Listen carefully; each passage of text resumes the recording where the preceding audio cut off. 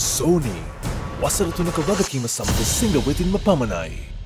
හැමෝම තැන්තින මේ ආණ්ඩුව හරි නෝන්ජල් ආණ්ඩුවක්. කොන්ද පණ නැති ආණ්ඩුවක්. ජනාධිපතිට ගහනවා ෆේස්බුක් එකේ ඇමතිවරුන්ට ගහනවා මඩ ගහනවා මාධ්‍යයට ඕන දේක කියන්න පුළුවන් වෙලා තියෙනවා. ටීවී වලට ඕන විදියට පෙන්වන්න පුළුවන්. ඒගොල්ලන්ට ඕන විදියට නිවුස් හදන්න පුළුවන්. එතකොට බලන මිනිස්සු හිතනවා සිකේ මේක හරි නෝන්ඩි ආණ්ඩුවක්. නෑ. ඒක තමයි පරිණත ප්‍රජාතන්ත්‍රවාදය කියන. ඒක කියන ගමන් කියනවා දැන් ලංකාවේ ඉන්න කට්ටියට ලොකුම හොරු වෙලා තියෙන්නේ ඇලෝසියස්ගෙන් සල්ලි ගත්තුන් තමයි ලංකාවේ හොරු වෙලා තියෙන්නේ. හැබැයි රටේ මිනිසුන්ගෙන් සල්ලි හොරකම් කරපුවම හොඳ වෙලා තියෙන්නේ. මේක තමයි නියම ජෝක් එක. අනේ පස්සෙන් අපේ නමක් හරි දිනවනේ දැන් හිතර දන්නේ මම මේ කියන්නේ මට බයට කියලා. දන්න තරම් ඉන්නන්නම නෑ. ඔය ඉන්න මාධ්‍ය සමහර ආයතන වල ඉන්න ලොකු කට්ටිය ඉන්නවා මේව ලස්සනට නිවුස් හදලා මවලා කරලා ඒක අමතක කරලා එලෝසියස් මාතෘකාව විතරක් හදලා තියෙනවා. මේක රටේ ඉන්න අහිංසක මිනිස්සු රවට්ටලා කරන ගේම් එකක්. ප්‍රධාන හොරු ටික හංගලා මේ පොඩි හාල් මැස්සෝ නිකන් මේ ඡන්දකට සල්ලි මේ ඇලෝසියස් එකෙන් හම්බ වෙච්ච කීප දෙනෙක් වරි හරි පෙන්නලා මෙන්න මේක තමයි රටේ මාතෘකාව බවට පත් කළා තියෙන්නේ. හොඳ නිදසුනක් අර